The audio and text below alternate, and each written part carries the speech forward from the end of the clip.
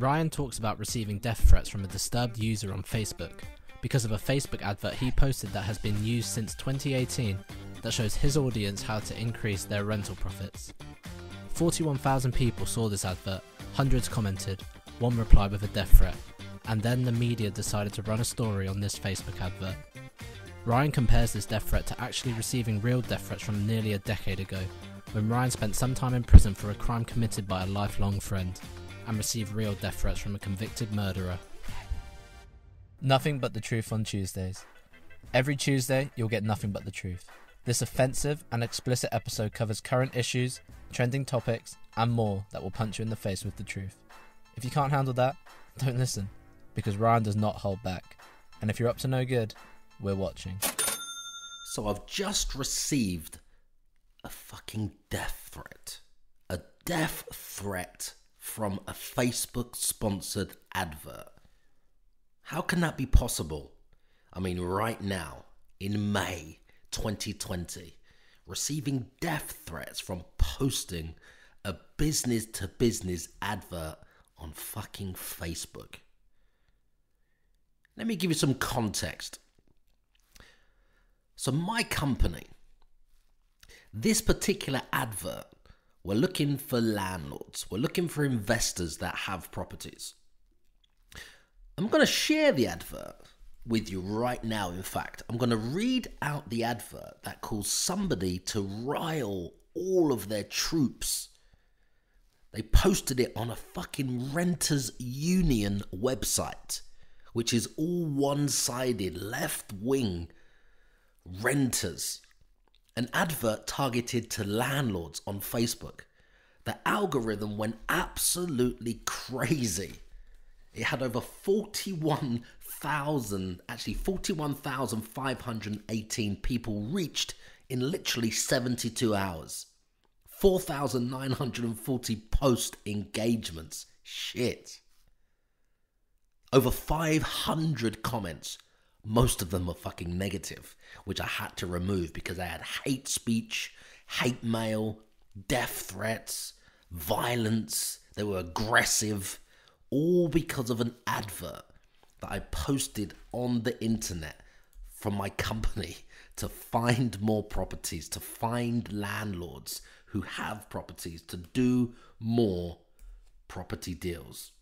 I'm going to read the advert out to you in moment so you guys understand. So you maybe you can make some sense of this. So 41,518 people reached, 4,940 post engagements. My page has gone up by 60,000, sorry, 6,000%. Hold on a minute. 6 No, 60,000% the increase of people reached. 7 Oh my god. 70,000 percent increased in post engagements and 233% more likes all in the space of just a few days from this one fucking advert it was a post i'm going to read it out to you now to see what you guys think it's a post which was put on facebook okay to find landlords to find investors to do deals with them to help them right now during the pandemic now, I understand that this is targeted at landlords, but then tenants, renters, and a fucking renters union. This fucking woman posted it on a renters union website and linked it with we're making money out of the NHS. It's got nothing to do with that. It's got nothing to do with the pandemic. This advert was posted originally back in 2018 then again in April 2019, then again in November 2019, then again in December 20 fucking 19. But some bitch has picked up this advert, rallied all of her fucking troops, posted it on all of these private groups and Facebook groups and um, renters union, and they have gone mad. They've gone apoplectic They've been contacting me on Facebook, sending me hate mail, hate speech, death threats from this one particular lady. She put on her own Facebook a screen print of my advert and called all of her troops to burn me. She said, go and fucking burn this guy right now. Attack this guy right now. I want you to kill this guy right now. That's me. It was targeted at me. It's unbelievable. Let me read the advert out to you guys now so you can see what you think. If you're a landlord in Brighton, you could be making a big mistake if you're not already shortletting your property. Over the last four years in Brighton, we're getting up to 199% above the market rents on these properties. 985 for studios when the market rent was 650. 1750 for one beds when the market rent was 1100. 3512 for two beds when the market rent was 1750.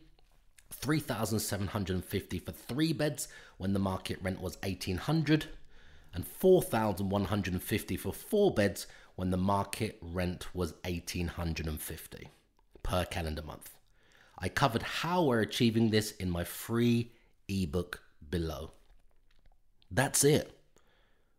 That's the fucking advert that I posted. That's the advert. There's 275 reactions there's still 420 comments that I left public and I have blocked and removed and hidden and deleted at least 100, maybe even 150 more. So in 72 hours, this advert has literally gone fucking viral. Let me step in real quick. I share a ton of business and investment tactics on this show. And it's a shame that there's no interaction on a platform like this which is why I've created a Facebook community group called Property Crash Course, where I get to answer all of your questions. So you just post a deal or post a question, and I'll show you where the money is in your deal or answer your question for you. So help me to help you and your business right now by asking me anything you need help with. Does that sound fair? Just go to Facebook and then search the groups and then type in property crash course. Now, will it turn out to be a bad thing? Will it turn out to be a good thing? Let's look at the pros and the cons. On the good side, we've had multiple landlords reach out and contact us saying these people are crazy, you know, this is out of order what they're saying, there's death threats. Even a landlord, a new potential customer, contacted me that never worked with me before and said, I just wanted to share this with you. I understand your business model. There's absolutely nothing wrong with it. These people are going crazy. Here's a screen print. It's on their profile here and here saying to go and burn you to all of their friends, all of their followers. So that was a landlord that reached out to me. It's a landlord that we'll probably end up doing some work with, doing some business with. Other landlords have reached out saying similar things and just interested to find out more. The ebook has been downloaded multiple, multiple, multiple times in those 72 hours. So is this a good thing or is it a bad thing? Today I've had the newspaper contact me. The fucking newspaper. The local newspaper which covers this area and Sussex in the southeast. They've contacted me asking me for a comment on the story the newspaper because of a post that's gone viral on Facebook. Just imagine that.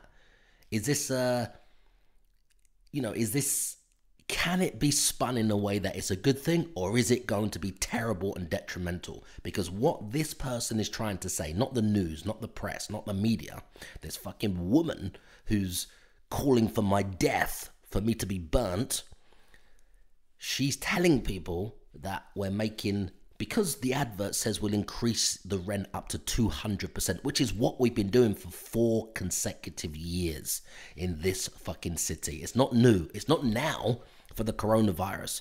It's not just for this, it's been happening. We've been doing this for the last four years in multiple different cities.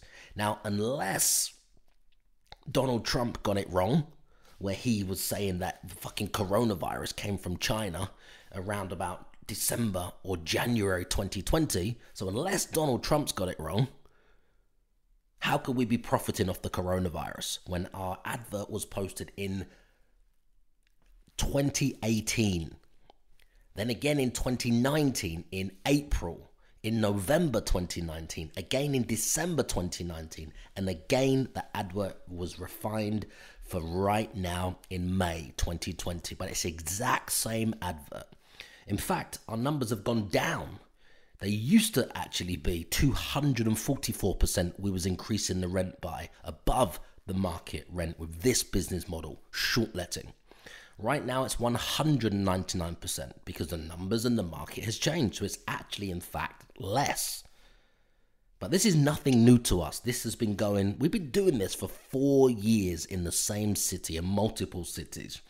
But this fucking bitch, who looks like a crackhead, has picked up this advert and used it in a very negative way, trying to say we're making money off the NHS. It's got nothing to do with the NHS. I don't know how the fuck she even thought of linking it to the NHS. She's just some poor bitch that will never amount to anything. And she looks like a fucking crackhead as well. We've had to report her to the police for making death threats. From a fucking Facebook ad, we've had to report her to the police. It's just unbelievable. So, will it turn out to be a good thing? Will it turn out to be a bad thing? I think right now, in the eyes of a tenant seeing this, it's a bad thing. We knew that before. I knew that last year. I knew it before the advert was posted. I knew it in 2016, 17, 18, 19, and 2020 when it was posted. That tenants obviously won't like this because it's not for tenants where B2B is business to landlords, to investors, to consortiums, to you know landlords that have large portfolios, companies. We take over their properties and we increase the rent by taking them out of one market and putting them into a brand new fucking market. Make sure you've subscribed because tomorrow you'll get Show Me the Money on Wednesday. If you have a deal right now and you don't know the best way to structure it, if you post a deal in the community group on Facebook called Property Crash Course, Ryan will help you unlock hidden profits and save you from locking yourself into a loss on those bad deals that every property sourcer wants you to buy. It's got nothing to do with tenants. We don't rent to tenants.